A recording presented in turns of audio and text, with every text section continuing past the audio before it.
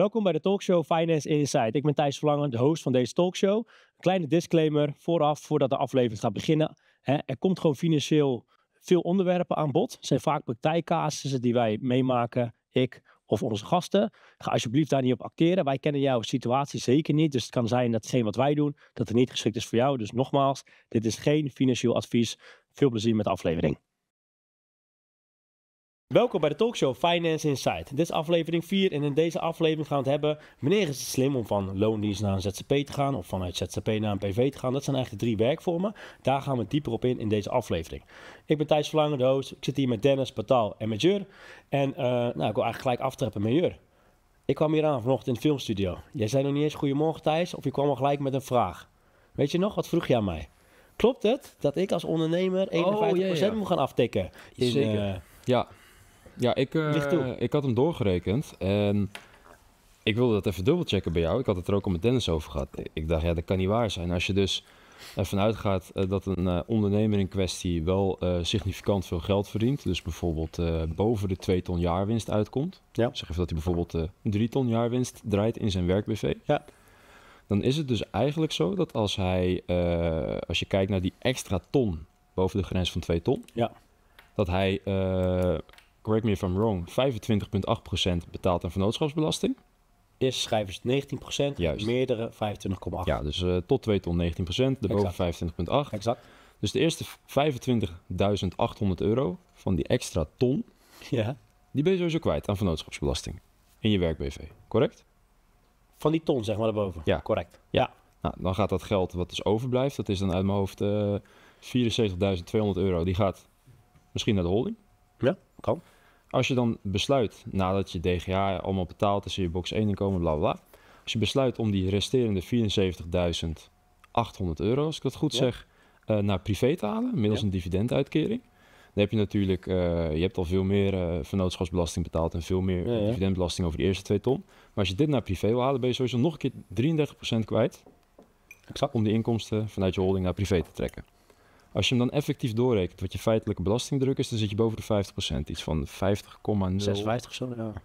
50,08 of zo, dacht ik of zoiets. Maar net ja, boven de 50. Best correct. wel... Uh... Als je ja, dus correct. Dus als je dan als dividend uit gaat keren, dan hebben we de eerste schijf 67.000 euro, is 24,5% per fiscaal partner ben je alleen, dan is inderdaad hè, die 67.000 euro waar we dus overheen gaan in jouw rekenvoorbeeld met, ja. wat zijn nou net 72.000 of zo, uh, uitkeren, 74.200, dat zei jij. Dat gaan we uitkeren. 74.200, dus ja. Ja, 74.200. Stel, we zijn dus alleen, en dan gaan we dus over een deel boven die 67.000 euro 33% moeten aftikken. Want de tweede schijf, en in de dividendsbelastingssfeer, is die 33%. Gecombineerd, de hoogste van de, van de VPB, van de winstbelasting, 25,8 dan die 33% is gecombineerd die 50, nog wat, zeg maar. Ja. En dat, toen dacht jij bij jezelf, dat klopt niet. En ik, ik, ik dacht, dus dat, ik, ik wil voor zekerheid ook. Ik, ik, ik, raakte een beetje in de war van, want ik zat in door te rekenen. Ik dacht, paniek was het vanochtend. Het, het, komt er dus eigenlijk op neer als jij meer dan 2 ton winst maakt in je werk-BV, ja. zegt 3 ton, dat je over die additionele ton ja meer dan 50% belasting meer dan helft afdragen. aan vennootschapsbelasting en dividendbelasting om het uiteindelijk naar privé te trekken. Mhm. Wat feitelijk gezien nog meer is dan de hoogste schaal in box 1. Want die is? Die is 49 nog wat uit ja, 49,5. 49,5, hier ga je al. Dus, uh, maar dat kan als, als werknemer. Dus dat kan ook zijn als ik bijvoorbeeld bij eh, Shell of KPM wil werken en ik ga veel centjes verdienen dat ik dan in de hoogste schaal beland waarbij ik voor een deel 49,5% betaal. Ja. Maar als ik besluit om alle risico's te dragen van ondernemerschap, allerlei dingen te proberen in de hoop dat het een succes wordt. En ik maak een flinke klapper en ik weet centjes te verdienen en dan in grote getallen. Ga ik feitelijk gezien meer belasting betalen dan iemand in loondienst. Terwijl je als ondernemer per definitie meer risico loopt. Correct. Dat vind ik heel raar. Als je zeg maar uh, baten en lasten of uh, risico en rendement tegen elkaar afweegt. Het is het hoogste belastingtarief van heel Nederland nu. Ja. Op dit moment. Vorig jaar was dat natuurlijk niet zo, want vorig jaar was die dividendbelasting 26,9. Ja, en, ja. en had je niet die twee schijven, dan zat je op gecombineerd, boah, ik weet het niet, maar lager dan die 49,5 procent. Ja, zeker. Ja, daarvoor was het vennootschapsbelasting uh, 15, ja. 15 natuurlijk. Tot aan de eerste 395.000. Hij is denk nog nooit zo hoog geweest, of wel? Jij weet dat misschien beter van je account. Dat weet ik eerlijk gezegd niet. Maar, hoger dan 50 procent. Uh, wel, nu is het wel aan de hoge kant inderdaad. Want ook het hele argument, uh, kijk, er zijn natuurlijk allerlei andere argumenten om alsnog uh, hard te maken dat het wellicht handig is om vanuit een eenmanszaak naar een BV over te stappen. Hè? Dus misschien aansprakelijkheid, misschien wel wat fiscale zaken of vastgoed uit je holding willen kopen of willen lenen ja. naar privé, bla bla bla. Maar als je gewoon kijkt naar alleen feitelijke belastingdruk, zoals vroeger werd gedaan van hé, hey, eh, Batal, je verdient nu anderhalve ton winst in je eenmanszaak. Jij moet per definitie een BV beginnen, want fiscaal is sowieso voordeliger, want tarief versus tarief. Die rekensom is echt veel complexer geworden nu. Eh jazeker, dat is een eh, lastigere eh, berekening geworden inderdaad.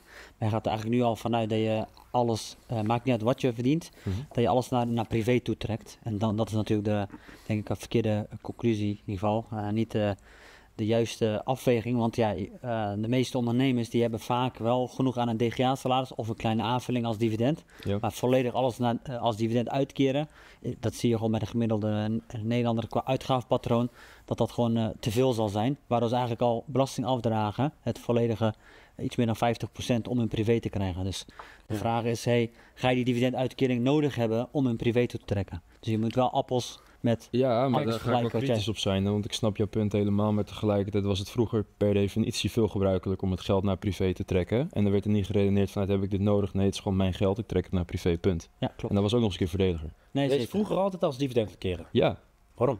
omdat dat de Heb je sowieso die dividendbelasting? Ik heb het Ja, gewoon ja, beter maar, maar ja dat, dat was ook soms een afweging. Maar tegenwoordig is het niet eens meer echt een afweging. Is het gewoon noodzakelijk. Want? Vro- vroeger kon je nog zeggen, hey, als ik een eenmanszaak ben en ik, eh, ik draai twee ton winst bijvoorbeeld, Mhm. dan belandt dat geld per definitie in privé uiteindelijk, want je betaalt die belasting één keer. Eh, terwijl als je een BV had, eh, zeiden de meeste mensen alsnog, ja, hey, als eenmanszaak trek naar privé, vanuit mijn holding trek ik het ook wel naar privé, zelfs nog iets voordeliger. Ja. Vroeger was VPB wat lager en dividendbelasting lager. Ja. Waardoor je effectief boven die 150.000 euro sowieso een wat lagere belastingdruk had. Kon je het net zo goed naar privé halen. Had je daar geen behoefte aan, kon je natuurlijk in je holding laten staan. Maar vroeger was het eigenlijk als uitgangspunt best wel vaak het geval dat je gewoon zei, ja, maar ik heb een hoop geld verdiend als ondernemer, er komt nu een dikke vette dividenduitkering. Tegenwoordig hoor je de mensen niet eens meer over dividend. En waarom? Ja, Dat kan wel, maar dan ga je gewoon nooit verder dan die 67.000. Ja, dat is toch een heel zielig bedrag voor de gemiddelde ondernemer die wel serieus Ja, geld verdient. Spreek voor jezelf. Ja, Dat is 50.000 euro netto. Ja. Die er gewoon even bij krijgt einde van het jaar. Ja. uitkeer. ja, en stel je voor je hebt nog drie ton verdiend. Of eh, bijvoorbeeld eh, een of andere zware jongen die... Een... Dat is een luxe probleem, hè? Ja, zeker dat dat luxe problemen zijn. Ja, dat snap ik. Ja, Maar klink- problemen. klink je net als Hugo de Jonge. Ja. Ja, Hey, maar hoe bizar wordt deze casus, hè? want deze belastingdruk is extreem. Maar stel Ja. dat we het naar privé halen en we gaan dat in eh, Box drie. box 3 investeren. en dan mag je weer Dan zeggen dat smijt je er weer 36% overheen. Ja, ja, dat was Maar eigenlijk... dat is eh, heftig. eh, Ziek, de hè? vervolgstap. Ja. je En dan ga je dood en dan mag je naamstaan ook een erfbelasting op. Maar dat is, ja precies, maar dat is dus effectieve belastingdruk, zeg even dan 31% of zo, als je dat een beetje doorcalculeert, die 36% die straks gegeven wordt. Hè, dat is Gewoon met, 36 gaan houden. Kijk, ja, oké, 31 is- makkelijk houden 36. Ja, ja, Je hebt dus vrij inkomen die, eraf. Ja, Ja. precies. Hè, bovenop nog die, eh die 50%, zit je gewoon 80%. Flink, hè? Dat is eigenlijk om te huilen. Ja, en dan koop je een pand aan waarvan je 10% door de play spoelt. Ja, eh, waar geen enkele vorm van waarde voor geleverd is. Ja. Aan de andere kant, kijk, Ja. die 50, hè, die 50.000 die je daar krijgt, die komen in box 3 terecht. Maar als je daar geen inkomsten op genereert, hoef je ook niet te betalen in box 3. Nee, natuurlijk fair enough. Maar als je daar 10k inkomsten op genereert, ja, dan moet je wel weer op die nieuwe 10k inkomsten, moet je weer 36% gaan ik, aftikken. ik dacht ik tik, eh tik door en dat is, dat wel echt extreem. Ja, Dat is echt extreem. Ik Ja. vind het scenario wat jij net schetst Ja. extreem, maar als je dat dus nog een keer gaat doorinvesteren, wat eigenlijk, je kan niet anders, hè, want op het moment dat je het Ja. op een rekening laat versloffen, dan inflatietechnisch is het helemaal niks meer waard. Dus je kan niet anders dan het gaan doorinvesteren, word je nog een keer geraakt. En als je dan gaat doorcalculeren wat je belastingdruk wordt, dat is echt ziek. Maar waarom zou je dat als dividend willen uitkeren?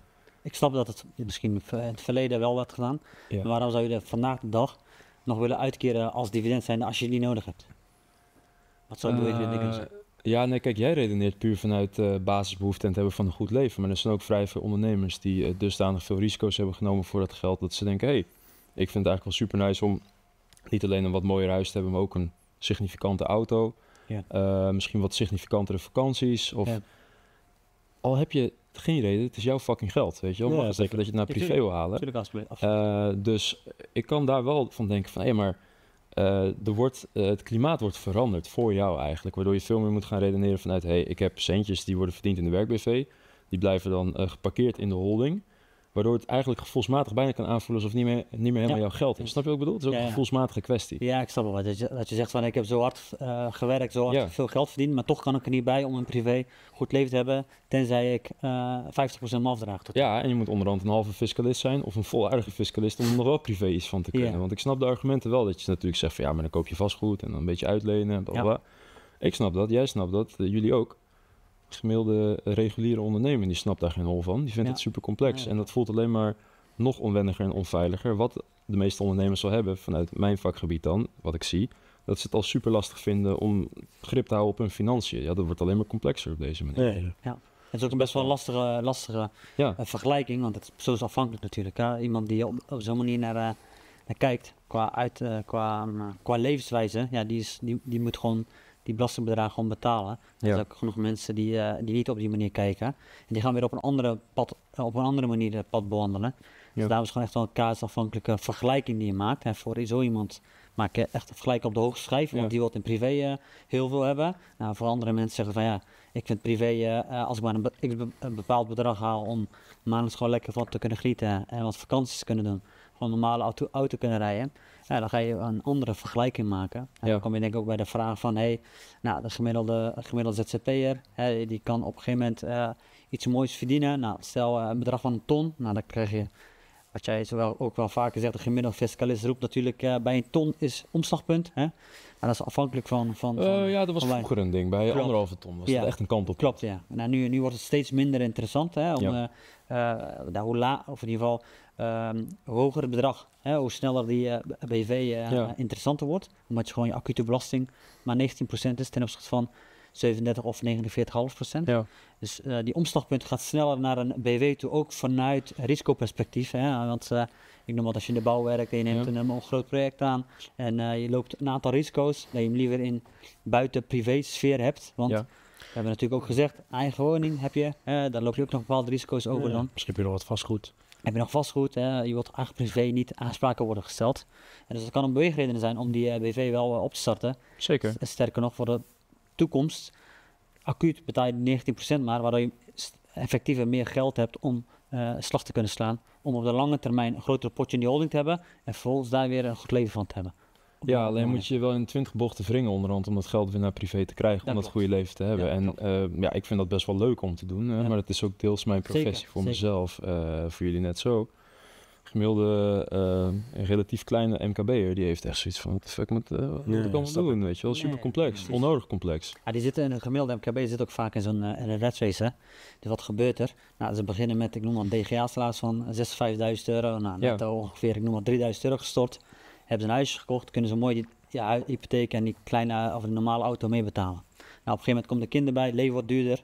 Nou, dan hebben ze, hebben ze eigenlijk geen andere keus dan salaris te verhogen of dividend uit te keren om in privé wat beter eh, leven te hebben. Ja. Als ze in box 3 eh, geen dingen hebben aangekocht die maandelijks cashflow opleveren. Nou, wat gebeurt er dan? Dan gaat de salaris weer omhoog. Nou, dan ga je weer in hoger in die belastingschijf. Nou, dan komt er een tweede kleine bij. Het leven wordt nog duurder. Hè, waardoor je weer aan die salaris eh, gaat trekken. Op een gegeven moment kom je op een punt dat je denkt van... Ik heb, ik heb eigenlijk een, eh, ik heb best wel een goed lopende zaak, maar ik ben ook heel veel aan het afdragen uiteraard. En daarom is gewoon die vermogensallocatie in het algemeen in je holding, in privé, hè, wat je als DGA-salaris eruit trekt, gewoon die berekeningen maken van waar ga ik nou waar, waar ga ik nou het geld vandaan halen om Ja. een goed leven te hebben, om in ieder geval eh, eh, niet veel weg te brengen, gewoon op een normale manier af te dragen eigenlijk. Ja, ja, alleen de meeste mensen eh, die luisteren alleen nog hiernaar en denken, fuck, dat is best wel complex, wat, eh, wat moet ik nu doen, weet je wel. Ja, Dus, zeker. eh, dat is voor jullie natuurlijk top, ook gezien jullie type werk. Maar ik denk dus niet dat de gevoelsmatige kwaliteit van leven van de gemiddelde ondernemer op financieel vlak, dus financiële rust, dat die verbeterd is de afgelopen jaar. Ik denk dat die zwaarder op achteruit is gegaan. Ik denk zelfs dat dat een van de redenen is hoge belastingdruk. zo zichtbaar wordt nu online. Omdat iedereen die iets met MKB doet, Ja, die snapt ja. er geen fuck meer van. Ja. Super Het frustrerend. verandert veel. Soms vinden wij het al complex, laat staan anderen. Ja man, ik, eh, ik was eh, een paar jaar geleden dat ik nog een eenmanszaak. Ik ben nog nooit zo arm gevoeld als nu, als ik heel eerlijk ben. Terwijl ik toen significant minder geld verdiende. Komt door die slee. Ja, dat komt door die sleep. Ik moet het even over hebben. Nee, maar het is Nee, een, eh, jullie snappen wat ik bedoel, toch? Als Ja, je net vanuit DGA plus een beetje dividend, ja, een beetje, in absolute getal is het veel. Ja. Maar ja, dat is wel een ding, vind ik. Nee, het is zeker lastig om, je, weet dat de zaken goed lopen, maar in Ja. privé eh, kun je niet eh, eh, doen en laten wat je wilt. En daar komt eigenlijk een beetje ook op neer. Ja. Dat je daar naar privé moet toetrekken, Ja, ja. dan vind je het zonde. Maar je wilt natuurlijk ook een goed leven in privé hebben. Ja. Het, het wordt inderdaad steeds complexer, omdat iedere keer een uitzondering of een tariefstap wordt eh, verzonnen. Bijvoorbeeld met dividendbelasting hiervoor was gewoon één tarief en that's it. En Ja. dan krijg je weer twee tarieven, dus je moet er twee ja, keer en doorrekenen. maar van die tweede, want ze weten het ook wel precies op een punt te pakken dat de meeste mensen, om, die, om dat sociale draagvlak ervoor te creëren, ook in de Tweede Kamer, dus het echt Ja. precies zo'n punt. Ja, maar de meeste mensen hebben er toch geen last van? Nee, maar de mensen die er wel last van hebben, die voegen indirect, dat klinkt heel hard wat ik nu zeg, wel de meeste waarde toe in Nederland. Want die zijn verantwoordelijk voor het werkgeverschap voor alle andere mensen die eronder hangen. ja. Dus je wil niet, ik snap het punt ook helemaal dat je niet voor de rijke mensen een soort van gigantische voorkeursbehandeling wil, eh, wil treffen. Maar tegelijkertijd wil je ook niet doen alsof ze niet bestaan of zo. En dat is Ja. feitelijk wat er nu gewoon gebeurt eigenlijk Ja. met de fiscale wet en Ja, regelgeving. zeker eens. Dus tot het wordt eh, inderdaad Ja. complexer. Waardoor eh, het gewoon altijd eh, goed is om iets door te laten rekenen door een professional in ieder geval. Ja, ja. Als je grote keuzes maakt, schakel gewoon een expert in die voor jou mee gaat denken ja. op totaalniveau. En niet één specifiek onderwerp dat laten uitzoeken en krijg je een antwoord, maar op totaalniveau wordt er niet naar gekeken. Je moet gewoon echt een helikopterview creëren op jouw toekomstplan. En dat is gewoon echt een eh, ja. belangrijk eh, onderdeel om die keuze goed te kunnen maken. ja, ergens vind ik het alleen wel te triest voor worden dat je onderhand als een relatief kleine ondernemer een vermogensplanner of iemand in die richting moet inschakelen. Ja, zeker. Elke paar jaar opnieuw, dat is echt Ja. niet één keer. Nee, Eh, waar je best wel wat centjes aan kwijt bent, omdat de fiscus het anders inricht. nee zeker. Nou, als je bij ons Dus- komt, eh, ben je minder centjes kwijt dan een fiscus, hè? Ja, ja, dat is zeker waar. Dus iedereen Die brengt het duurder en duurder, joh. Wie? met liefde. Een fiscus. Maar wij niet. Thijs, ja, Ja. zeker. Helemaal niet. Nee, maar ik denk oprecht dat de meeste mensen het met liefde bij jullie afbrengen. Eh, sowieso omdat ze het jullie meer gunnen, maar ook Ja, ja. omdat ze gewoon een hekel aan de fiscus hebben. Want ik denk dat de meeste ondernemers De dat grootste vijand van iedereen. Wat was de grootste kostenpost van de gemiddelde Nederlander? Ja, belasting. Zeker. Inflatie. Dat. Nou, Maar neem niet weg dat het, weet je wel, ik denk dus dat eh, drie, vier jaar geleden dat je met een standaard accountant die gewoon zei, hey, uh, betaal moet je horen, dit is de simpele rekensom, boven de anderhalf ton is dat eigenlijk al het kantelpunt. Hoe klinkt dat voor je? Ja. Dat je jongens zoals jullie minder snel nodig in ieder Ja. geval. Dat is wel een ding. Nee, hebt zeker. zelfs eigenlijk helemaal gevoelsmatig niet meer echt iets aan een accountant. Want als ik over mezelf spreek, ik heb logischerwijs ook gewoon Ja. een accountant. Eh, ik ken er meerdere. Mijn bedrijfsmatige accountant ben ik heel happy mee. Maar mijn vrouw heeft een, een eenmanszaak, die heeft ook een accountant. Die heeft in het verleden ook mijn aangifte gedaan. Ja, die accountant, die acht ik echt niet zwaar genoeg Nee. om in dit landschap de juiste keuzes te maken. En ik denk dat heel veel ondernemers dat hebben. Dat klopt. Een goede punt eh, die je aanhaakt. Account is zo dat je ziet vaak door de regeldruk, door de regelgeving, hè, dan moeten ook voldoen aan bepaalde verplichtingen. Of ze moeten ook weer, eh, nou, eh, dan krijg je, jij wilt een hypotheekaanvraag doen, dan moet hij ellenlange dingen aanleveren. Jij gaat natuurlijk vragen, binnen twee weken moet ik hebben, want bla bla bla. Er is best wel druk op steeds documentatie die moet aangeleverd worden door, eh, door accountants. Dus wordt best wel steeds meer, door- door steeds meer regelgeving eh, heb je een hogere werkdruk. Nou, dan zie je ook dat hogere werkdruk leidt dat mensen uitstappen uit een bepaald vakgebied. Omdat ze denken, ja, weet je wel, al dat papierwerk, daar ben je klaar mee. Ik, ik stap uit en dat zie je vaak bij eh, jonge mensen. Dat is ook natuurlijk een, eh, een, probleem nu in de accountancy-markt eigenlijk. Beetje bij jezelf. Wat zei je? Beetje zoals bij Ja, nee, nee, het is inderdaad. Op een gegeven moment eh, heb je zoiets van, ja, ik wil niet terug in de tijd gaan kijken, maar je wilt mensen vooruit helpen. Maar die ruimte en tijd krijg je niet, omdat het werk wat in het verleden, hè, wat je eh jaarcijfers, aangifte, et cetera, vergt zoveel energie en aandacht, hè, dat je eigenlijk met de klant niet überhaupt even kan zitten, hey, laten we een bak koffie doen, laten we eens even hebben, wa- wat, wil je nou, hè, waar wil je naartoe? En die tijd eigenlijk eh, hebben ze niet, omdat er gewoon productie geleverd moet worden. Hmm. En dan ontstaat er een punt van ja, eh, waarvoor, hoe zie jij je accountant? Zie je dat alleen voor hey, even de, eh, de, de, de producten leveren, de jaarrekening, aangifte, et cetera? Of heb je echt een accountant die met jou meedenkt, de toekomst in kijkt en die zelf ook hè, begrijpt hoe dat spel werkt? En als je vaak zie je dat het eh, eh, bij, de, bij, de, bij de meesten zie je dat ze zelf niet investeren of beleggen of wat dan ook. Want ze zien het als allemaal als risicovol. Is, is ook prima. Alleen dat is best wel lastig om naar zo iemand te luisteren. Als jij zelf eh eh 3 miljoen aan vastgoed hebt en die, eh, die beste meneer heeft alleen maar een eigen woning met een hypotheek erop. Dat is best wel lastig adviseren voor diegene om met jou mee te denken met al die risico's en voordelen. dat Maar is wel best geen wel praktijk, lastig.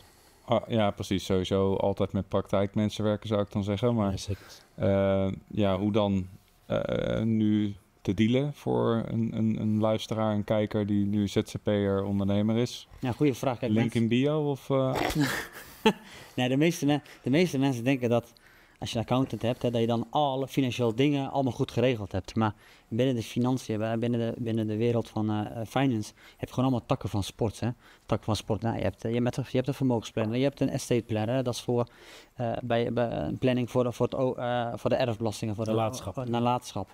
Nou, je hebt, je hebt een accountant, je hebt een fiscalist. Nou, een notaris speelt ook nog daar een rol in. Je hebt de banken, et cetera. Dus iedereen heeft zijn eigen bepaalde expertise die je eigenlijk nodig hebt om als ondernemer vooruit te kunnen. Je moet gewoon beseffen dat je voor iedere vraagstuk die je hebt wel de juiste expert gaat inschakelen om jouw vraag te beantwoorden. En eh, vaak denken mensen, eh, mijn accountant moet alles weten. Ja, dat, dat, gaat natuurlijk nooit. Hè, omdat zij natuurlijk een bepaalde expertise hebben op een bepaalde, eh, bepaalde vlak. Vooral omtrent de BV, toch? Ja, zeker. En, en je ziet gewoon, als ondernemer moet je gewoon eigenlijk eh, ehm, het spel begrijpen. Dat je eh, de, in de hoofdlijnen begrijpt wat er gebeurt. Naar een detailniveau moet je experts inschakelen die het voor jou gaan uitvoeren, die jouw vraagstukken kunnen beantwoorden, et cetera. Dus eigenlijk de, het hele spel moet je zelf begrijpen en vervolgens laten uitvoeren door, door experts. En dat is denk ik het beste wat je op dit moment kan doen. En ik zou eerlijk gezegd voor ondernemers adviseren om iemand in-house te hebben, of in ieder geval iemand die dicht bij jou waar je een goede klik mee hebt, die bij jou af en toe meekijkt of vier ogen principe, check het even, hey, staat dit goed? En dan gaat naar de accountant, eh, eh, weet je ook, wat, kunnen we doen aan om efficiënter te werken, et cetera. Eh, ben gewoon open voor kritische feedback voor hoe je te werk gaat, zodat je alleen maar je financiën intern goed op orde hebt en dat je gewoon een beetje grip hebt eh, op de Ja. zaak gedurende eh, eh, periodes. Dat je niet denkt van aan het einde van het jaar, hey, ik heb dit verdiend. Nee, je moet eigenlijk periodiek al weten welke kant je op vaart en dat je ergens in september, oktober al weet, hey, dit gaat Ja, aan het einde van het jaar worden. Hey, wat kunnen we nog doen? Hey, wat is slim? Is investeren nu slim? Is investeren volgend jaar slim?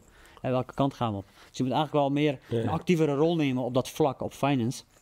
Dan een passievere, passievere rol van zeggen van ja, die accountant regelt toch alles. Ik zie wel aan het einde van het jaar eh, wat de jaarrekening heeft gedaan. Het is ook wat een klant toch laatst zei tegen ons. Dat ze eigenlijk te ziek voor worden dat jullie een dubbele eh terugverdiengarantie kunnen garanderen. Dat Ja. wil zeggen dat er ergens veel, want dat doen we vaak met belastingvoordeel, dat er gewoon er- dat er ergens altijd geld blijft liggen. Anders kunnen we dat niet eh, garanderen, zeg maar. En dat is omdat er, ja, zo'n accountant eh, komt er niet aan toe of die weet sommige dingen gewoon niet. Omdat, dat is vaak onderneming gericht. Wij kijken natuurlijk veel breder, ook naar een stukje pensioen, een stukje vastgoed, een stukje box 3, et cetera. Maar zo'n ondernemer die dat niet weet, en die verwacht dat zo'n accountant dat wel allemaal even opheldert, zeg maar. Maar dat zegt Batal ook al. Ja, dat is niet zijn expertise, zeg maar. Maar voor een, voor een gemiddelde ondernemer die denkt van ja, dat, moet toch, dat is een financiële man. En net zoals ik zeg wel eens tegen klanten, kijk, die muur die, die is wit. Een stukendoor die kan hem wit stuken, maar een schilder maakt hem ook wit. Want het zijn wel echt twee andere vakken, zeg maar. Twee andere expertises. Maar voor ons leken, even gek gezegd, ja, wat maakt mij het uit? Maak hem gewoon wit, weet je wel. Zo, zo zegt iemand dat. Toch zou het een stukje door wel sieren als hij na het opleveren zou zeggen... hé vriend, ik heb hem opgeleverd. Hij is nog wel korrelig, want ik ben een stukje door. Dus hij blijft een beetje gortig, die muur. Hier heb je het nummer van eh, in ieder geval twee Ja, goede latexboeren. Succes ermee. Dat zal die klant altijd onthouden. Nou, we hebben ook al eens echt eh, accounts gehad, want ik heb gehoord, dan zijn ze doorgestuurd richting ons. Ja, ja, ja dat, eh, zoiets is super. Zeker, dan worden ze doorgestuurd. Ja. En je, vaak hoor je ook wel eh, dat ze benieuwd zijn hè, wat, eh, eh, wat er eruit komt uit zo'n dag hè, of uit zo'n eh één op één sessie. En dan zie je dat ze daar wel positieve eh, reacties op Ja, geven ja. van hey, dat, dat waren goede tips. Hè, eh, Soms komt zelfs accountant mee. ja, Dat is ook wel schattig. Ja, mag mijn accountant ook mee. Ja, pers, kom maar joh. ik heb zelfs al eh, een Hm. paar eh, RA's gehad die eh, voor de één op één komen. Gewoon omdat ze puur, ze zijn goed in, het, in zijn vakgebied op het gebied van controleren, et cetera. Ja. Maar het, het, het, het echte hele belastingstelsel, dat is niet, hoeft niet per definitie hun dagelijkse werkzaamheid te zijn. Dus ook zij eh, kiezen ervoor om gewoon exp- exp- eh, expertise in te kopen om, om zelf te, te begrijpen. Hm. Dus eigenlijk is het gewoon goed om als ondernemer, moet je gewoon begrijpen wat je aan het doen bent. Hè. Je, je business begrijp je waarschijnlijk wel omdat je geld verdient. Maar ook je financiële zaken moet je gewoon of zelf proberen zoveel mogelijk te begrijpen. Of in ieder geval een expert inschakelen om die kennis tot je te krijgen. Zodat je tussentijds weet waar je aan toe bent. Hè? Dat je op tijdig kan bijsturen. Eh, niet dat je denkt van eh, aan het einde van de rit, eh, zo, eh, zoveel winst heb ik gehaald. Oh, wat ga ik nou dit jaar weer doen om, het eh, goed terecht te breien? En voor de luisteraars, hè? eh, luisteraars en kijkers. Komt het op Spotify trouwens? niet? Goeie vraag, weet ik nog Oké, niet. nou in ieder geval kijkers, misschien ook luisteraars. Ja. zit al vier afleveringen te zeggen. Die luisteraars. ja, ja, Ja, dat je zou ik wel kan kijken en ondertussen luisteren. hè. Hey. Precies. Maar eh, voor de kijkers, Spotify trouwens hoor. voor de kijkers en luisteraars dus, hoor ik net. Eh, hoe, kunnen, hoe kan een gemiddelde ZZP'er of kleine MKB'er eh, goed peilen, heb ik hier een goede accountant te pakken? Heel. Goeie vraag. Heel veel ondernemers schuiven bij mij aan en die komen dan voor, Zeker strategische. Ja, maar dit is echt het grootste pijnpunt van al mijn klanten. Die komen bij mij voor strategische zaken rondom het groeien van hun bedrijf. eerste wat mij opvalt is dat die accountant altijd een klaploper is. En nou heb ik toevallig iets van vakinhoudelijke kennis, dus ik weet een beetje waar ik moet gaan prikken, maar eh, het is jouw vakgebied. Ja. Wat, Ja. wat, kunnen de gemiddelde onderne- wat kan de gemiddelde ondernemer doen? Ja, ik zeg eigenlijk ook niet zo heel moeilijk. Als de accountant met jou samen terug in de tijd kijkt, dat wil zeggen dat hij gefocust op terug in de tijd, dan kun je weinig aan meer aan veranderen op dat moment. Dus als hij met jou de toekomst in kijkt, dan heb je natuurlijk iemand te pakken die met jou meedenkt en mee gaat denken waar jij naartoe wilt. Ja. Jij moet natuurlijk wel weten waar je naartoe wilt, in de zin van eh, met je onderneming, et cetera. hè. En dat hij dan daar de weg met jou gaat bewandelen voor, voor een aantal komende jaren. Dus als je iemand hebt die met jou mee de toekomst in kijkt, Ja, Mm, Nee, hopelijk op een goede manier. Hè, dan, dan heb je denk ik wel iemand te pakken die met jou mee wil denken. Eh, maar als je alleen maar hebt over het verleden en dit is gebeurd, nou, wil je nog even de missende bonnen aanleveren, et cetera. Als, als, je, als je dat hebt, dan moet je denk ik ook de vraag stellen van, hey, ehm, hoe, zie ik mijn, hoe zie ik mijn accountant? Zie ik hem alleen voor hey, het verleden en ik wil goed dingen goed geregeld hebben, toekomst. Ik regel wel zelf welke kant ik op ga. Of heb je liever dat iemand tegen je aantrapt, hé hey, jongens, je gaat nu de- deze kant op, maar misschien moet je linksaf of rechtsaf, dat hij jou daarbij gaat helpen. dus En- proactief en preventief in plaats van Uiteraard. En, en inzicht brengen in eh, wat er nou gebeurt. Hè? Dat, eh, het is makkelijker dat er eh, omzet min kosten is, inkoopwaarde is je bruto marge. En wat dat kosten ervan af, dat is wat er overblijft. Ja. Hè? Dat je daar grip op moet hebben, inzicht moet hebben tussentijds, zodat je kan bijsturen. Dus en Ja. dat is weer eigenlijk met informatie van het verleden, van een paar maanden geleden, de toekomst in eh, eh, sturen eigenlijk. Ja. Oké. Dus, eh, je, moet- je moet gewoon kijken, is hij proactief genoeg? Komt hij zelf met inzichten? Ja, zeker. Cool. Ja, bijvoorbeeld daar wordt er ook laatst veel bij die klant ook. Die wilde dan, die had de ambities ook om eh, producten in het buitenland te gaan verkopen. Nou, dat kan een stap zijn om dat in aparte BV's te doen, toch vanwege de risicosfeer die dan eh Ja, zeker. eh een Zeker. aparte BV per land zeg maar opricht. Ja, maar het kan ook zo zijn als een accountant dat niet zegt en dan zit hij alles in één BV te stoppen en dan moet je het later weer uit elkaar gaan halen. Dat Ja. zijn dingen, maar dan moet zo'n ondernemer het ook wel laten weten aan een accountant. Hè? Dat Ja. het voornemens is om, eh, weet ik het, eh, België te veroveren, Ja. Duitsland. eh. Ja, of je kan, kan wat ondernemers doen. De vraag is van, van tevoren van, eh, ja, of ze, ze- ze zeggen niks. Hè. Ik, heb, eh, ik ben nu ook eh, e-commerce aan het doen in, eh, in België, Duitsland. En dit zijn de verkopen. En dan gaat de accountant daar wat van maken.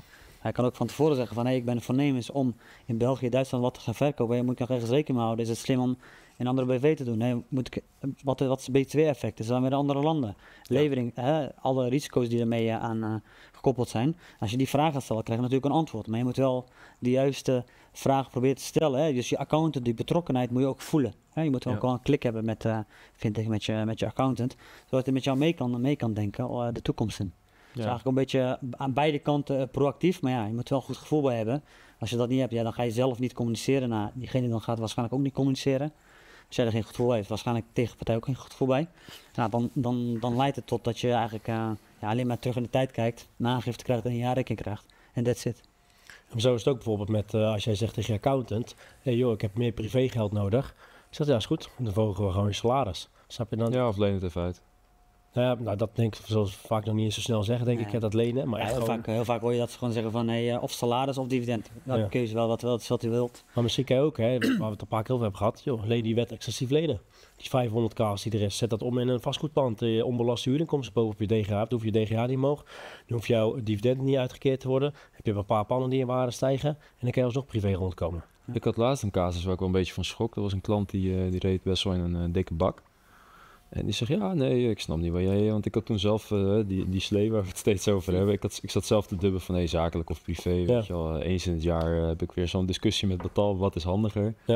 En die klant zegt heel bij de hand van, nee joh, pff, mijn, mijn accountant heeft het zo ingericht dat ik altijd kan rijden in die auto. Maar ik betaal echt geen bijtelling hoor. Ik denk, hé, hey, dat kan niet. Het is Nee. het een of het ander, weet je. Ja. Of je rijdt dat ding in privé en misschien wat kilometerdeclaratie. Correct. Of je rijdt hem zakelijk en je pakt de bijtelling. Correct. Maar we kunnen niet in het midden gaan zitten, zo werkt dat niet. Ja. Nee hoor, dat kan wel. Dus, eh, ik eh vraag aan die accountant veel wat gebeurt daar. Niet dat een klant van mij helemaal domme moves aan het maken is eh, eh, qua boekhouding. Ja, nee, ik heb hem gewoon op een rekening courant gezet. Ja, die, Ja, dus je rijdt dat ding gewoon in privé. je houdt er geen kloot aan over feitelijk. Hè, je- schuld loopt op. je schuld loopt op, alleen je voelt hem niet in je maandelijkse DGA-salarisje. Maar je bent gewoon een dikke vette schuld aan het opbouwen. ging om een lease van 2k in de maand, plus exploitatiekosten van zo'n auto. En dat is een dikke Audi, dan tikt dat ook wel aan. Ja. Maar ja, die boekhouder, waarschijnlijk heeft hij gewoon de vraag gesteld... Hé, hey, boekhouder, ik wil eh, het niet privé betalen en eh, ik wil geen bijtelling betalen. Ja, dan krijg je zo'n kunnen rijden. Ja, Maar dan moet je als, als accountant wel zeggen, nee vriend, dat doen we niet. Het is dit of dit. Weet je Ja. wel? Dus er kunnen heel veel dingen met nuances in communicatie grandioos fout gaan bij klanten. Ja. Of Ja. bij ondernemers. Ja, ja. Ja, goede, goede punt hoor. Hm. En daarbij accounts, eh, ze moeten gewoon aangeven, jongen, dit wat je nu aan het doen bent, is eigenlijk uitstel, eh, uitstel van eh, executie Ja, ja. eigenlijk, of uitstel van betaling. Want uiteindelijk, ergens aan het einde of tussentijds, krijg je een, eh, een rekening voor die, voor die rekeningkrant. Hè. Die moet ergens een Moet een keertje keer terug. Moet een keertje terug. Of uitgedividend Dus worden. dan, dan vind ik wel, hè, die accountant die moet dan proactief zijn en zeggen van jongen, dit, dit doen we niet, want het is eigenlijk iets ongezonds voor jou. Ja, Maar als je als klant eigenwijs bent en zegt van ja, doe maar nog alsnog en ik neem alle risico. ja dat is prima. Dat is prima. Maar ik vind wel dat accountant dan moet zeggen van jongens, misschien beter om of bijtelling te doen of om mijn privé te zetten en de kilometer te declareren. En dat hij daar een rechte lijn, of in dat hij, dat hij hard moet zijn richting zijn klant. Gewoon een beetje een stukje opvoeding van hé, hey, zo moet je eigenlijk met je geld omgaan. Nou, als je het dan hebt over eh, dat is een slechte eh, eh, schuld of opbouwen. Nou, met de gezonde schulden moet je eigenlijk hetzelfde doen. Hé hey, jongen, misschien moet je even gezonde schulden creëren, waardoor je weer rendement kan maken, et cetera. Waardoor je in privé weer een beter leven krijgt. Alleen dat gebeurt vaak in de praktijk niet. Waarom niet? Want ja, diegene doet zelf ook niet i- investeren of beleggen of eh, dat soort dingen. Is er misschien iemand gewoon in loondienst? Ja, want je wordt eigenlijk ook opgeleid op die manier. Hè? Dat je daar denk- eigenlijk van hey, eh, eh, het risico-avers op, opgeleid worden. Waardoor je zelf ook risico's ziet in vastgoed. En wat als een huurder niet betaalt? En Ja. wat als eh eh afvikt? Hè? Dat, dan zie je alleen maar risico's in die panden. Terwijl deze beste meneer tegenover ons alleen maar kansen ziet in, eh, in, eh, in vastgoed. En wij ook. Eh, dus, dus ook een beetje, eh, wat verwacht je nou van die account? En wat voor iemand heb je tegenover je zitten? Ja.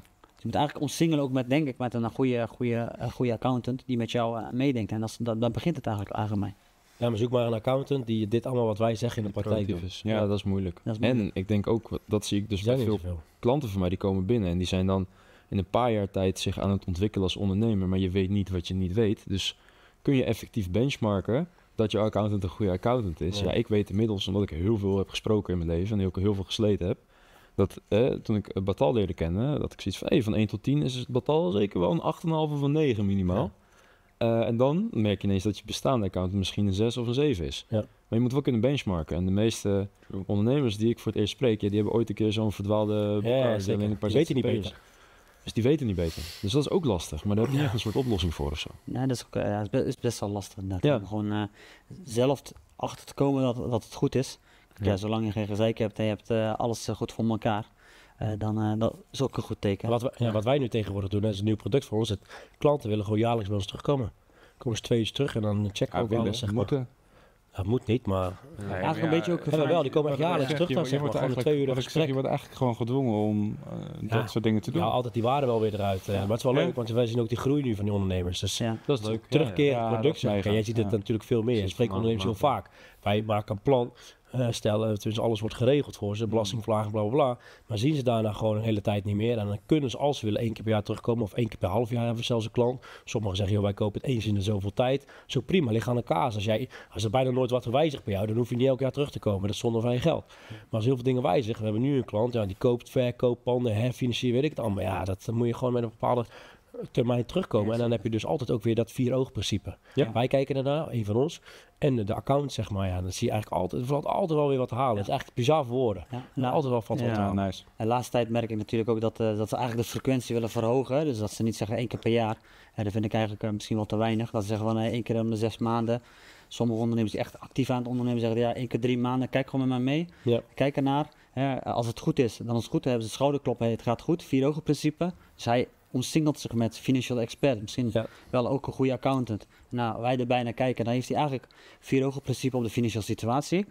Nou, als, ik, als, als wij niks zeggen, zegt de accountant wat. Nou, als de accountant wat mist, zeggen wij wat. Hè. Zo heb je eigenlijk wel een mooie, mooie ehm, barrière gecreëerd voor jezelf om eh, financieel goed voor elkaar te hebben. En dan kun je ook makkelijk tussentijds aansturen als ze de verkeerde kant op gaan. En dus eigenlijk is het een, in mijn optiek zeker de investering waard. Want je weet of je bent goed bezig, of je moet bij gaan sturen, waar je het a- waardoor je het eigenlijk ook weer gaat terugverdienen. Ja. Dat zie je nu steeds vaker, maar vooral bij, eh, bij jonge ondernemers, hè, dat, dat, eh, heel waardevol, want- vind, dat ze dat heel waardevol vinden. Omdat ze, ja, als ze dan dingen horen van ons, denken ze, oh shit, waarom weet ik niet eerder? En zo kun je Ja. eigenlijk ervoor zorgen dat je continu geüpdate bent met nieuwe regels. Want ja, onze regels veranderen inmiddels eh, bijna ieder jaar. eh, Ja, ja. eh, en dan kun je blijven af. Voordeel wat- voordeel is wat, hè, als ik over spreken, maar voordeel wat wij hebben is dat wij gewoon praktijkmannen zijn.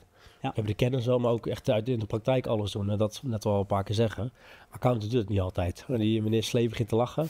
Ja, ik moest lachen om je opmerking net in de hal over dat je praktijkman bent. Ja, die kwam er mooi uit. Daar moest ik even aan denken. Ja, toch? Jazeker.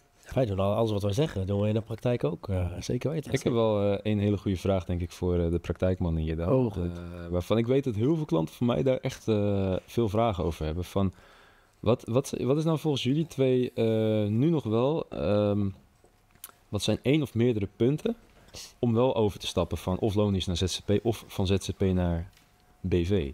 Hè, dus je hebt het aansprakelijkheidsstuk, Ja. dat snap ik. Ja. Die is voor de meeste mensen, ook de luisteraars, wel vrij duidelijk. Ja. Weet je wel, als je bovengemiddelde risico's gaat, eh, gaat lopen, als je met producten zit, zeker ook in de consumentenmarkt, dan wil je waarschijnlijk vrij snel naar een BV neigen. Ja. Maar vanuit fiscaal oogpunt, is er überhaupt nog iets nuttigs over te zeggen? Is er een bepaald kantelpunt nu voor jullie? Ja, dat is een lastige, dat wilde ik nog aanhalen. Ja. Inderdaad, kijk, laatst had ik een klant, ook ZZP'er, maar die had echt zulke hoge privékosten. Een hypotheek al van 3600 euro, kinderopvang, niet normaal. Ja, dan kan je, en, en zijn winst was, ik weet het even niet meer, richting de 120 of zo, als ZZP'er zijnde. Dan kan je wel mee uit de voeten natuurlijk. Hè, met, eh, snap je? Ja, dus Maar als dat- hij overgaat naar een BV, dan moet hij al een flinke DGA hebben. Snap je die ook weer in box 1 van. En natuurlijk als ZZP heb je het voordeel dat je die, eh, die zelfstandig aftrek hebt en die, die MKB winstvrijstelling, eh, startsaftrek de eerste paar jaar. Fijn, dat heb je allemaal. en Dat heb je als BV-eigenaar niet. Maar stel, hij gaat over naar een BV waar dan die 120 in valt. En dan moet ook een DGA uitkeren van 120 of een, of een deel DGA plus een deel, deel dividend. Ja, dan, dan is het eh, kantelpunt nog ver te zoeken, zeg maar. Omdat zijn lasten fucking hoog waren. Ja, ja, ja, en die MKB-winstvrijstelling, ik denk dat veel mensen zich... Dat is 14 procent. Ja, nee, is 12,7 geworden dit jaar trouwens. Vorig jaar was 14. Wordt ook afgebouwd. Wordt afgebouwd. Ja, wordt afgebouwd. Zelfstandig Is dit jaar niet nog 14? Nee, 12,7. Terwijl- en, eh, Oh shit, joh. Ja, dat wordt volgend jaar eh 11. ook gortig. Wat. Alles bouwen ze af, jongen. Maar daarom wordt het steeds interessant om die BV in te gaan, omdat die aftrekposten worden... Ja, Ja, maar, die wel met die ook gevaarlijk, want het, het wordt dus interessanter, maar eigenlijk wordt het allebei minder interessant. En, eh, Dat, ja, dat- dat is niet... eh, dus betere loon is, wij zeggen. Nee, nee, nee. nou ja, dat is ook nog een ding. Ik denk dat er straks echt wel mensen gaan ontstaan die eh, zeggen, joh, fuck deze shit, ik ga alweer in loondienst. Dan heb ik al die Ja. kopzorgen niet. Ja, omdat ze geen pepernoot verdienen in eh ZZP of PV-constructie. ja, ja, ja, Ja. dat. Ja, nee, niet de jongens die eh, flink geld binnenslepen.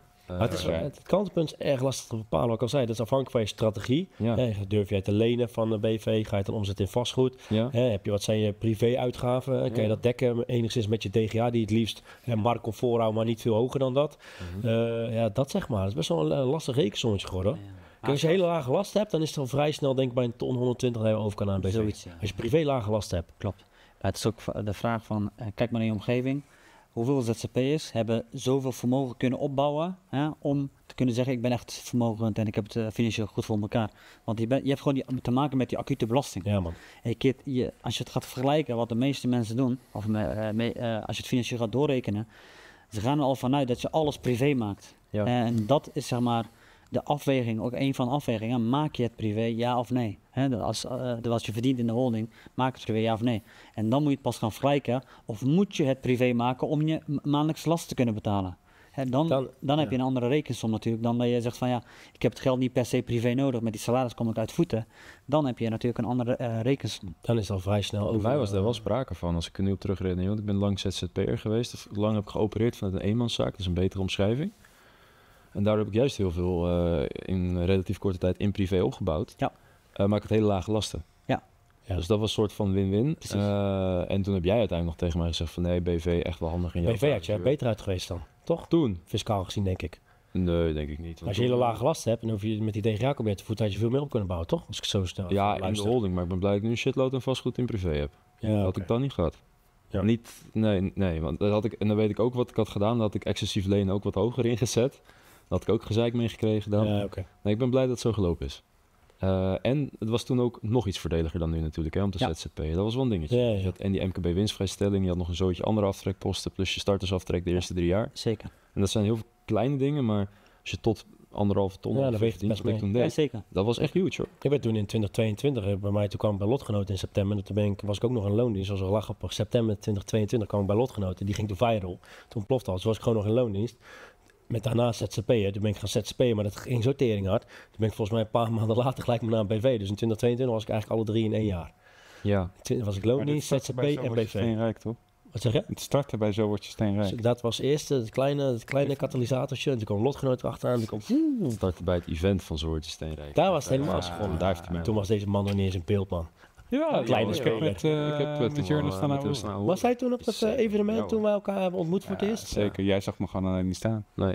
Oh, dat- Maar ik ken mijn plek. Kleine speler, hè? Dat snap je. Ja, dat. Maar eh, volgende onderwerp ben ik Ja. benieuwd naar. Batal. Auto. Vertel, Privé, zakelijk. wat ligt eraan wat voor auto? Pakken, beginnen met, met- laten we beginnen. Nee, laten we beginnen met deze meneer. Hij heeft een Audi A4, zag ik, zag volgens mij een station. Youngtimer. Ja. Waarom Youngtimer? Als, Waarom? Ja, eh, Youngtimer is eh, in het geval van mij interessant omdat je dan eh, gaat afrekenen op de dagwaarde. Nou, deze auto die was bij aanschaf, ik meen 6000 euro. Het is een, eh, echt een prima Audi A4 Station Turbo, geloof ik. Ehm, had destijds 130.000 kilometer op de teller. Prima gezinsauto. Ik geef ook niet zoveel om auto's zoals jullie dat doen. Nou, ik moet vooral in eh, comfort dat- dat van A naar B. Ik denk dat dat bij ons allemaal wel mee. Bij mij het ook niet zo. Lopen rij. als een pinky hier eh, rond. En eh, laat Oh, staan als je in die auto stapt. Dan stijgt hij nog net niet op. En die Tesla van jou sowieso. Hoezo? Ja, dan Nee. met die vleugels ga je, ga je wapperen. eh, Vliegen, ja. jongen. Dat is altijd makkelijk als file staat. Letterlijk. Nee, dus eh, ga daar niet zo aankomen. Oké. Nee, dus voor mij is die Youngtimer interessant. Want dan betaal je belasting over de dagwaarde eh, van die auto. Dat geef je volgens weer op.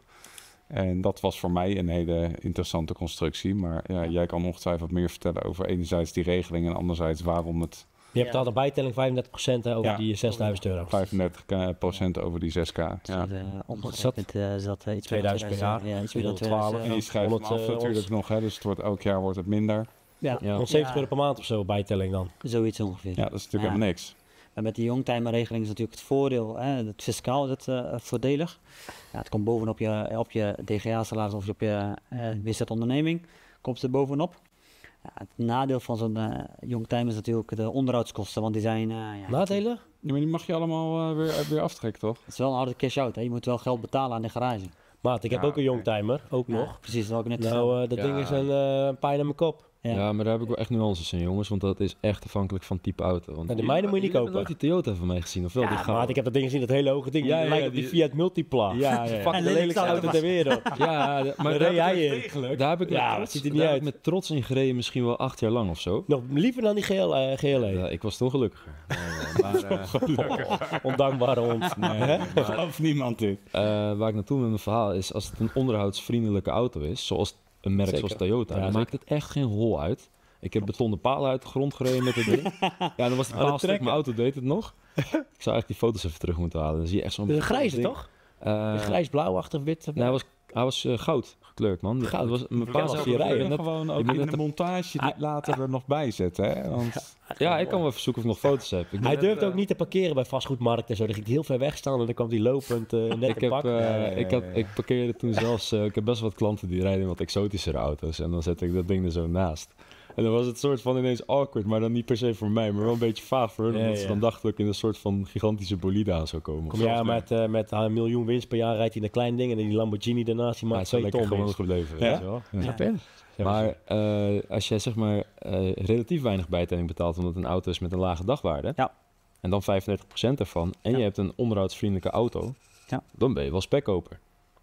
Klopt. wel. Klopt. Alleen dat zijn vaak niet de meest sexy auto's. Dan moet je geen Audi precies. A5 kopen cabrio Ja, eh, die ik heb dat. gekocht. Ah, dat Nee, snap ik de ding wat ik ga, er zit ook echt gewoon nog serieus wel een beetje power in. Ja, ja. Maar is, is ja, ik geef niet, eh, of is dat nog wel een dingetje? Nou ja, deze is gewoon wel prima. Ja. jaar is die? Nou, één ding, hij, hij vertelt nu één ding niet. Hij is elf maanden in Curaçao. Die auto staat eh Ja, elf staat- maanden stil. Ja, Dat ik, is ik, natuurlijk ik geen heb wel een paar keer de accu moeten Ja, zie je dat? Ja, maar één keer, een één keer een APK te doen van Laat die 50 euro. Tesla van jou even vijf maanden stilstaan. Maar die- Nou, dan, dan zit er geen batterij meer in. precies. Gebruikt er ook een accu. verbruikt hij niet heel veel olie, dat ding voor jou? Nou, niet dat ik weet. Maar als ik straks aan eh, de zijkant sta van de weg, dan eh, zal ik je even Bij bellen. mij dan noemen ze noemen de laatste klant, die dealde ook een Audi. Zij zegt, Thijs jongen, wat jij hebt gekocht, dat noemen ze een olieboot. Dat ding dat verbruikt olie, jongen, dat is niet normaal. Je vraagt dit ook echt aan de verkeerde, hè? Alsof ik kaas van auto's Ik wist ook niet, ik heb, kijk, ik zal je eerlijk zijn, tot, eh, wanneer heb ik deze Audi gekocht? Vorig jaar zomer, toch? Ja, Door jou eigenlijk, Ja. 2023. ik reed altijd in de Fiatje 500. eh, Zonder deurhendel. Zonder deurhendel, met, een lekker, met een lekker band. Ik, want ik geef ook eigenlijk helemaal geen reet om auto's. Dus ik heb die band vol pompen, dan kom ik naar Hoofddorp rijden hè, naar Jur. En dan kom ik eh, daarna weer terug. Dat was één groot raam. Toen zei Pataal, van ja, fuck het gozer, je draait lekker man, koop gewoon een eh, leuke auto. Ik denk, ja, hoe moet ik gaan rijden dan? Heb ik Marktplaats gepakt, om de streek voor 20 kilometer aangetikt. En gewoon bovenaan stond een Audi A5 Cabrio. Ik denk, nou, ziet er prima uit. Wij 20 kilometer naartoe gereden, een ding gekocht, klaar. Nou, een jaar later nu, hè, vandaag de dag wil ik hem verkopen. Nou, ik heb voor 13.000 gekocht met 130 op de teller. Ja, net eh, bellen ze, ik kan er nog 6 voor krijgen, 7 krijgen. Dat is toch niet normaal? En ik heb er 8000 kilometer bij gereden. Helemaal niet veel gebruikt. Dat is niet veel, nee. Nee, maar het is Maar nou- dat komt dus door Batal. dat komt door de bestal, ja. Dus hij gaat Oh, dat goed- compenseren, zei Die hij. gaan ze natuurlijk compenseren. Nee, Zo is die, hè? En nee, precies. Dat Maar, heb ik met een jongtuin, maar bij mij is dan is je cabrio dak, is dat dak ineens weer lek, weet je wel. Pff, word je helemaal lijp van, man. ja, Ja, maar als ik nou wel zo'n vat gebak wil rijden zoals jullie drieën wel rijden, eh, en dan? Hoe fix het dat dan heb je en dan ligt er aan welke.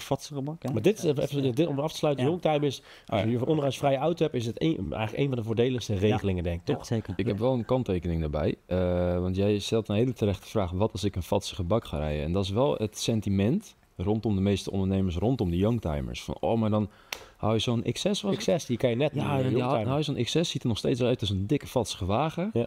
Alleen ja, die zijn vaak afgeracht als ze uit, wat is het, 2009 moeten ze komen? Correct, ja. Ja, die zijn dus afgeracht. Dat kan niet anders. Hooguit vind je er misschien eentje die heel lang stil heeft gestaan en weinig kilometers heeft, maar die zal nog steeds wat kosten.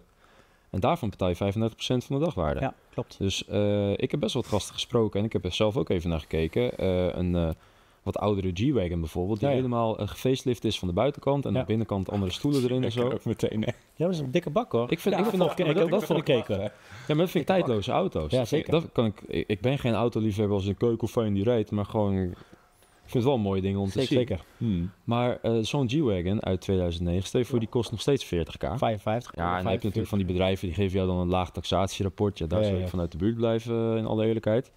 Maar eh, feitelijk is het gewoon eh, economisch verkeer, wat heb jij ervoor betaald? Dat is de dagwaarde. Exact. Maar als jij 50k betaalt voor zo'n ding, die normaal 2 ton heeft gekost, hè, begrijp me Ja. niet verkeerd, lijkt een goede deal. Maar daar dan even 35% van, dan ga je eens nog voor. Was dat? Eh 40, 17? 12.000, 1000 de maand. Bijtelling. Zoiets, ja. Dus dan Zoiets, ja. 35% van 50k, dat is meer dan 15.000 euro. Uh, Ja. 1 zesde boven 17.500 euro aan bijtelling in een Ja. jaar. Ja. Dus als jij, als jij Ja, dan... dat is echt wel weer een extreem eh, je- voorbeeld, hè? Want je hebt gewoon voor 10.000 euro echt een meer dan prima Ja, youngtimer. maar hey, je moet wel wat kijk, voor? je wil veilig rijden. En niet als je aangereden wordt en je Kia Picanto dood bent, hè. Oh, ja. Dus moet je een G-Wagon hebben of een tank zoals die GLE of wat Ja, ik dat heb. is Zo'n een G-Wagon. Nee, nee, nee, goed punt. Dus, dit- ik, ik maak hem nu wel zwart-wit. Als je in het midden van dat spectrum gaat zitten, kom je op een BMW 3-serie uit of zo. Die ook Ja. een soort van tijdloos zijn. Even tussendoor, want ik neem aan dat je toch niet met die auto van jou met jouw kinderen achterin gaat rijden, toch? Dat kan Nee, je niet maken. die zet ik op het dak. Nee, maar als, je, als je daarmee aangereden wordt, jongen, dan ben je gelijk helemaal... eh, Dan ben je hè? wel in de kreukel als Ja, een geitje. Ja? geitje. Dat weet je niet. Nee, een geitje. Zo, dat klinkt zo Klap maar te lullen. Nee. Het is gewoon één grote kreukenzone. Ja. Ja, jij neemt hem gewoon serieus. Kijk, je moet een tank rijden, je moet toch veiligheid hebben voor de kids ook. Ja, met dat rijgedrag van jou is een tank wel handig, ja. Maar eh, Ja, dan rij je automatisch. ik rij gewoon als een oude lul. Ja. Ja. dat is zeker waar, pas bij de leeftijd. Ja, daarom. Maar eh, waar waren we gebleven? Geen Jong, idee. maar dan wordt het inderdaad, dan, hè, dan moet je dus 17.500 euro bijtelling per jaar betalen. Dan stel je hebt een DGA van 75.000, daarover betaal je die 37%. Maar als dit er dan bovenop komt, 17.500, ga je dan naar 82, eh, 92.500. Moet je dus eigenlijk over die 17.500 moet je alweer 8, uh, 9.000 euro belasting gaan betalen bijna. Klopt. Ja. En die Dan moet je aftikken, hè?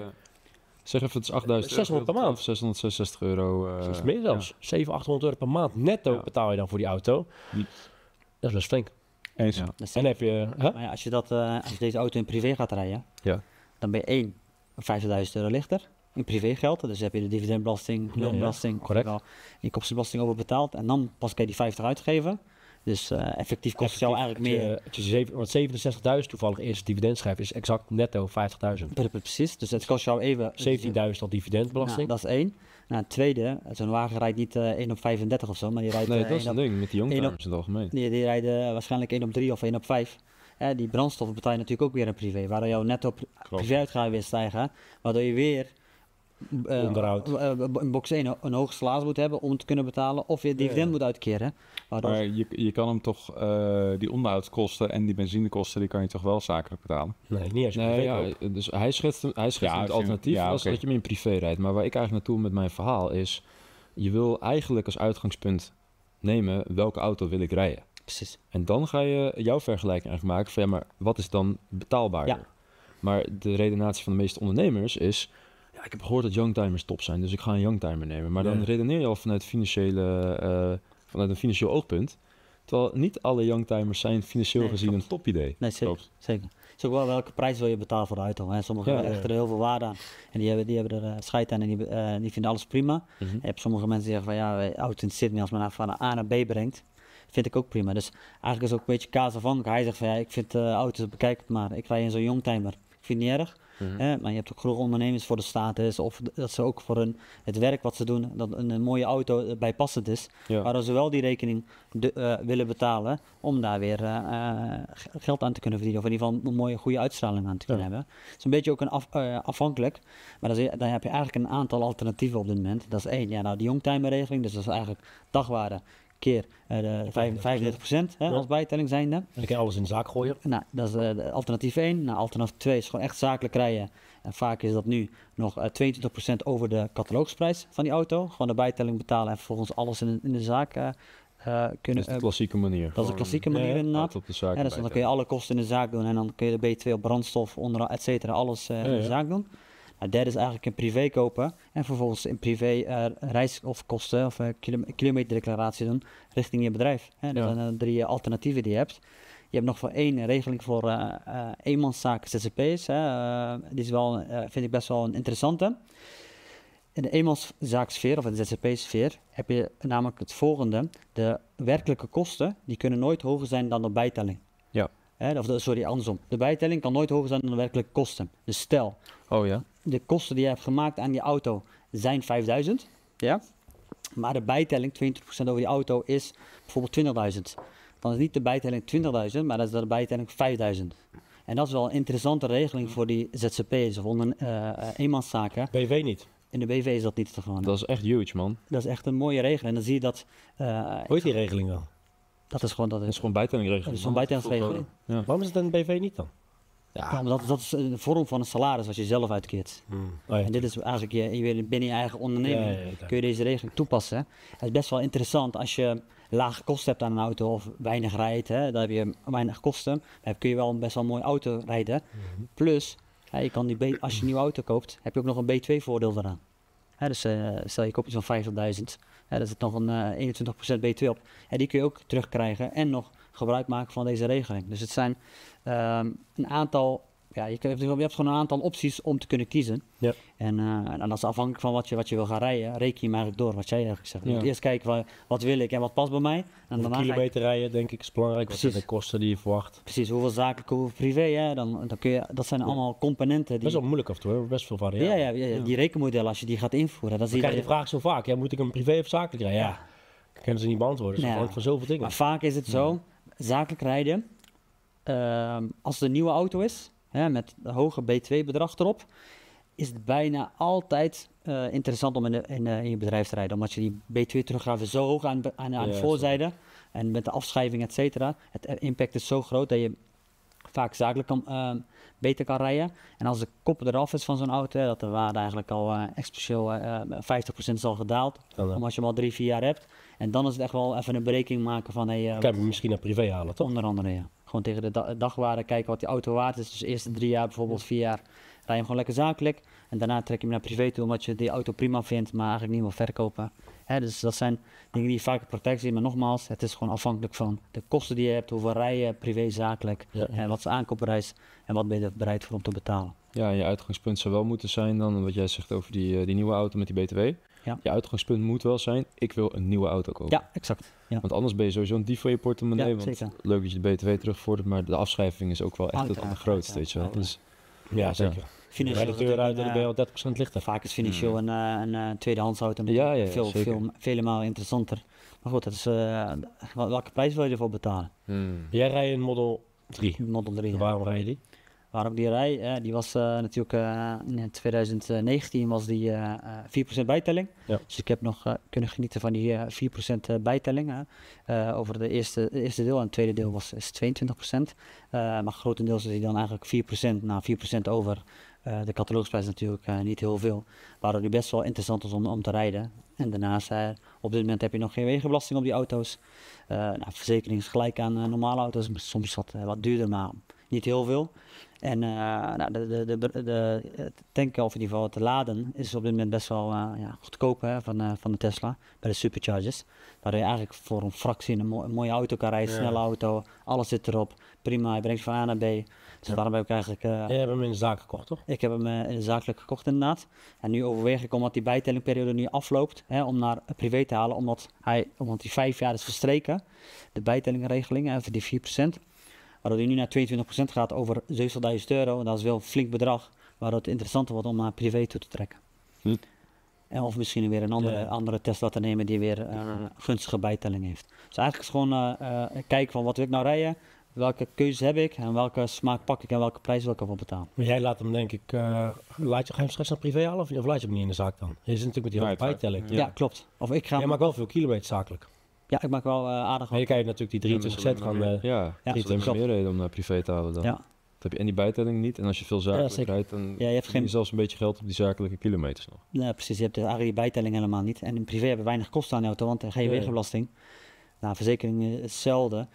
dat is de reden ook Het- dat ik ja, het, Tesla eh, de elektrische rijden is eh, goedkoop. Hè? Eh, Ja. Je kan echt eh, voor eh 20 euro bijna 400 kilometer rijden, Ja. 15 tot 20 euro. En dan is het zeker, eh, zeker interessant. En daarom heb ik ook die Tesla gehad, want ik rij zakelijk bijna niks. Kijk, hij komt elke keer naar Gorkum toe vanuit Tilburg. Ik, eh, ik fiets meer dan dat. Kijk, hier kom ik heen gereden, voor de rest rijd ik bijna niks. Of naar jouw eh, podcast of zo, weet je dat soort dingen. Maar volgens mij als ik 5000 kilometer zakelijk rijd per jaar, is het veel, zeg maar. Ja, het zou dom zijn om dan, eh, wat is bijtelling is nu nog 4% bij mij volgens mij, maar het gaat naar 22 ook, toch? Ja, klopt. Die catalogswaarde van het ding voor mij is eh Ton of zo. 120 volgens mij. Zoiets, zo. ja. ja. Ja, dan loop je helemaal leeg. Ja, dan gaat hij natuurlijk naar privé. Want hij verloopt al bijna die bijtelling. Privé ook maar. Ja, dan heb ik alleen die zorg, zorgverzekering, de verzekering van eh, 130 klopt. euro. Voor de rest heb ik helemaal geen kosten. En ik heb een laadpaal voor mijn deur neergezet, zonnepanelen op dak.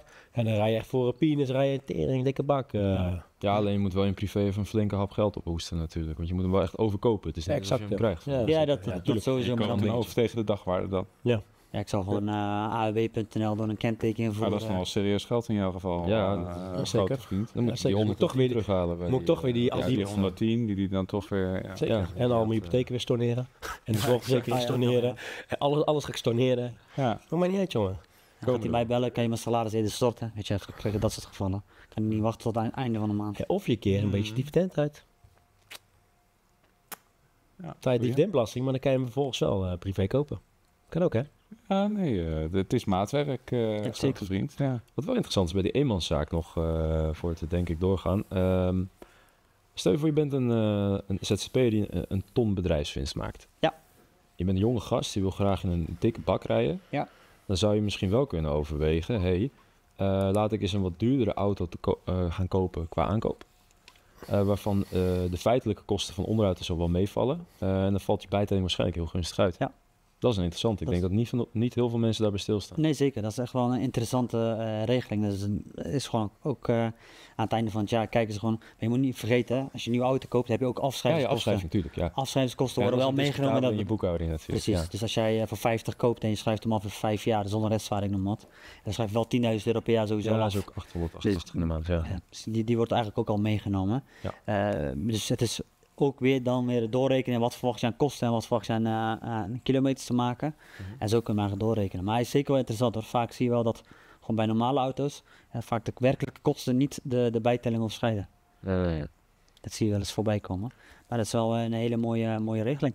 Cool. Top man. Genoeg over auto's denk ik. Ik heb eigenlijk nog twee punten waar ik het over heb en dan is het eh, finito. Eentje is, eh, ga ik toch naar jou te kijken, Patal. Kan je wat uitleggen over de werkkostenregeling? Weet je dat? Dat weet je Ja. uiteraard. Jazeker. Bedoel je dan werkkostenregeling voor de... PV, eh, TGA? oh, nou, een werkkostenregeling is eigenlijk een, eh, nou, ehm, is een vergoeding hè, die je uit de onderneming kan krijgen voor de kosten die je hebt gemaakt of voor eh, vergoeding voor eh, wat je in de, z- voor de zaak hebt gemaakt in, in privé. Nou, denk aan als je een privéauto hebt, Dat kunnen alleen PV-eigenaren, toch?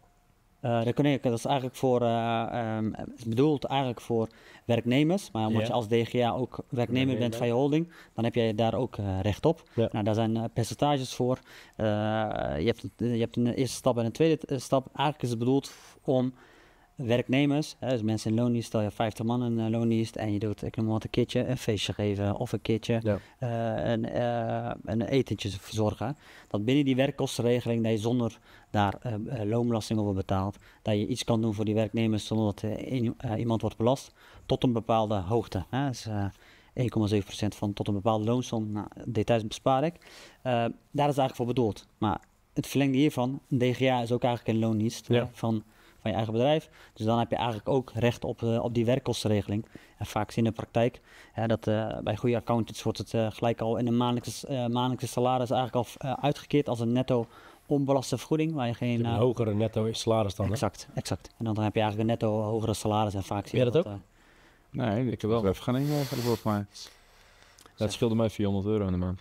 Zag eh, tekst. zou, eh, zou- Zoveel? Nou, ik denk Nee, iets minder. ik. Eh, Iets tussen de 100 en 150 euro, denk ik. Ja, iets meer. Nee, ik ging van eh 39,80 eh schoon naar iets van, eh, ja, dat klopt wel wat jij zegt, naar 41,90 of zo. Ja, het is ongeveer meer dan oh, 1,7 procent voor de eerste. Ja. Maar Oh, nee, wacht. Ja, hij was even naar 400 geschoten omdat ik met terugwerkende kracht kreeg. Omdat Ah, ik oké. begon. En Ja. nu zit hij op 200 euro. Ja, sowieso. ook. zit je op dat netto? Ik krijg eh, van een DGA van of 73 of 75 krijg ik eh 4190 netto of zo. Maar die slee die zit er ook weer bij die bijtelling, of niet? Nee, die pak ik in privé. Je hebt dat ding op privé staan. Ja, maat, eh, bijtelling ook met mij. Wat kost dat ding eigenlijk nu, catalogus? Ook een ton of zo? Eh, Meer denk ik allemaal. Ja, ik denk iets meer. Ja, het is een discutabel omdat deze eh, is aangekocht en daarna heeft die gasten nog allemaal toeters en bellen opgehangen. Ah. AMG-pakket, weet ik het Ja, allemaal. Dus misschien dat de catalogus waren, ik denk niet onder de ton gaat komen, maar ergens tussen de ton Ah, en oké. 120 of zo. Zoiets. Hij is per definitie die werkkostenregeling gewoon, in het is als wel iedere DGA, het is gewoon een Ja. netto vergoeding die uit de, de PV Dat is wel iets waar eh, misschien de kijker en de, de luisteraar mogelijk Zeker. eh, Ik luister aandachtig hier. naar, naar kunnen kijken, toch? Ja, zeker, om het zeker. onbenut te laten. Ja, zeker. Heb ik nog één dingetje? Misschien weet een van jullie twee die wel. De KIA-regeling. Daar wil ik dan mee afsluiten. Kleinschaligheidsinvesteringsaftrek. Ja. Weet jij het? Kan je hem uitleggen? Eh, Ik ben me er niet helemaal meer op vast. Ja. Want ik, de laatste keer dat ik hem voor mezelf moest uitzoeken, dat is echt al een paar jaar geleden. Maar uit mijn hoofd was het volgens mij alle investeringen of tot aan 6500 euro of net erboven. 2601 euro. 2600 euro, sorry. Tussen de 2600 en 7200 euro zo. Er was een bepaalde gap. Als je daartussen dan had je een bepaald percentage, ging erboven werd het percentage anders. Dat was in ieder geval een paar jaar geleden. 53.000. Ja, oké. 2601 tot en met 53.000 euro. Oké, oh, dat is veel, je veel 28 groter dan dat ik Maar dacht. kijk, als je een paar jaar geleden naar hebt gekeken, dan Ja. kon het toen de tijd anders zijn natuurlijk. Ja, ik denk Vandaag dat dag het is het 2601 tot 53.000. Ja, want ik weet nog dat als wij een jaar hadden waarin wij dus eh, niet al te veel, eh, ik zat in de bouw, ging Nee, ja. bouwmachines kochten, die Ja. dan eh, toen de tijd hoger dan, meer dan ex-BTW 450 euro kosten. Exact, ja. Was het zelfs, bij mij was het één keer in een, in een boekjaar, ik wou zeggen een bouwjaar, een boekjaar, was er sprake van dat ik eh, een grote bouwstofzuiger kocht en dat ik beter nog even een paar slangen en zo bij kon Exact. kopen. Gratis. Zodat die boven die 450 Ja. kwam. Oh ja, dat, En toen dat- kwam ik net op die grens van Kia en toen pakte ik hem weer mee. Exact. Maar toen had ik dat door en toen heb ik gelijk een shitload aan apparatuur gekocht om daar nog even... eh, Maar dat is ook een Voor- mooie regeling hè, voor, voor Ja. ondernemers om hier gebruik van te maken. Je zet net al hier, hè, je mag, als je bedrijfsmiddelen koopt voor je bedrijf. Dus stel, ik zou een filmstudio hebben, ja, dan heb ik al deze apparatuur nodig, camera's, et cetera. En dan moet je ervoor zorgen dat elke factuur die je eh, krijgt, meer is dan 450 euro ex-BTW. Dus ga niet eh, alleen een eh, statief kopen van 200 euro en een hout daarbij, want dan mag je die niet opvoeren voor de Kia. Maar koop dan twee statieven plus een camera en dan zit je op 2000 en dan mag je die volledige 2000 opgeven voor de Kia-regeling. En als dan al die facturen in één jaar meer is dan die 2601 euro, dan krijg je over dat bedrag die 28% eh in Kia investeringsaftrek eh, Ja. korting. Maar- Maar weet je, wat ik al zie in de Ja, praktijk, ook van gebruik gemaakt. Voor Ja. aanschaf van Ja, camera's. ja, dat is slimmer, maar wat ik al zie in de praktijk, dat de klanten soms net die 2601 euro niet halen. Zitten ze bij wijze van spreken op 2000, dan krijg je dus helemaal niks. Kijk, bij wijze van spreken nog even nadenken van, ah, fuck, wat heb ik Ja, nog dan is nodig? het goedkoper om 600 piek uit te geven. Exact, want dan Ja, krijg je die ja. volledige 600 piek weer terug. Ja, Dus dan kan je bij wijze van spreken denken, ja, fuck, misschien heb ik toch een iPad nog nodig of zo voor de zaak. Nou, dan koop je die iPad voor 600 euro. Als je op die 2601, krijg je die iPad eigenlijk weer gratis. Ja, goeie. uit mijn hoofd was er alleen, er waren wel een paar uitzonderingen. Volgens mij was een bedrijfspand, was, daar waren bijzonderheden mee. En Ja. eh, je bedrijfswagen, daar waren ook Auto, bijzonderheden auto's, mee. ja, ja. Ja, dus die worden wel weer uitgesloten dan. Verhuur van eh, wagens. Exactly. Ja, als je dingen verhuurt. En eh, hoe jij hem net schetste, eh, het is niet zo dat als je gewoon allerlei kleine prelaria koopt, wat zich toevallig ophoopt tot 450 euro, dat dat dan ook meegeteld kan worden natuurlijk. Mits het bedrijfsmiddelen zijn, toch? Ja, maar als jij voor 450 euro een confetti koopt, dat is Ja. geen Estiva natuurlijk. Nee, weet oké, wel. dat moeten we er even bij Ja, ja, zeggen. maar gewoon, eh, nee, klopt, daar heb je Ja. gelijk in. Goeie. Maar die, eh, Ja, maar dus ik moet nu toevallig een, een aantal nieuwe harde schijven bestellen voor opnames van eh podcast Zoals- Zootje ja. Rijk. Dan zeg jij sowieso boven de 450 eh, euro doen. Nee. Eh, want dan kan je hem opvoeren. Ja, en dan ook zorgen dat je dit jaar wel op die 26 rond Ja, exact. Anders heb je Ik er doe- alsnog niks aan. Ik heb een lijstje op mijn mobiel. Denk, ik, ah, dat moet ik nog hebben. Bijvoorbeeld de camera. Dan zet ik dat op het lijstje. En dan op een gegeven moment hoop ik het allemaal op. En dan bestel ik het in één keer. In een jaar. Ja. Ik zou het zonde om dit jaar 2000 euro te gaan investeren. En volgend jaar weer 2000. Ja. heb je twee keer niks. Ik heb beter 4000 goeie. dit jaar doen. Zeg maar. Top. Aanvullen nog over het laatste stukje of zo? Over deze, ja, eh, Ja? Een nieuwe website bijvoorbeeld. Zie je dat ook onder bedrijfsmiddelen? Dan gaan we vrij dat specifiek hardcore misschien. dat denk ik niet of wel betaald. Weet jij dat? Goeie vraag. Het ehm, heeft te maken met eh, ja, die website. Ehm, is het een investering Mhm. of is het een onderhoud aan je website? Dus, eh, wat, dat, dat is een, het verschil tussen onderhoud en investering is een grote... eh, mensen denken dat het hetzelfde is, maar onderhoud valt niet onder de investeringsre- of onder de keerregeling. Of, eh, sorry, onderhoud valt niet onder de keerregeling Hm. en investering wel. En dan heb je daar ook weer een uitzondering op. Eh, eer- eerlijk gezegd, de exacte details eh, weet ik niet, maar ik weet dat, je wel een, dat daar wel een scheidslijn tussen zit tussen onderhoud en investering aan je website. Wat wel relaxed Maar is met goeie- dit soort dingen. goeie tip. Eh, zoiets als Kia kun je echt heel makkelijk op de website van de Belastingdienst vinden. Ja, en daar staat het echt feilloos uitgelegd. zeker, zeker. Ik heb dat allemaal toen zelf een beetje zitten uitvogelen en daar kwam ik prima mee uit de voeten. Ja, zeker. Mensen moeten ook zeker kijken. Ja. Top. Onze beste vrienden. Hè? Huh? Onze beste vrienden van de Belastingdienst. Ja, zeker. Groot Ja, maar dat vind ik dan wel weer top geregeld daar. Ze zijn wel duidelijk op hun website met, met een aantal dingen. Ja. Gouden gasten daar. Ja. Niet normaal. Echt toppers. Veel geld ertoe stoppen, toch? Zoveel mogelijk. En dat sluiten we af. Dankjewel, eh, bedankt Top. jullie allemaal. Eh, seizoen 1, aflevering 4 van Talkshow Finance Insight bij deze geëindigd. Dankjewel weer voor het kijken. Laat wat achter in de comments wat je ervan vond. Like even, abonneer en dan eh, is het de volgende keer. eh aju.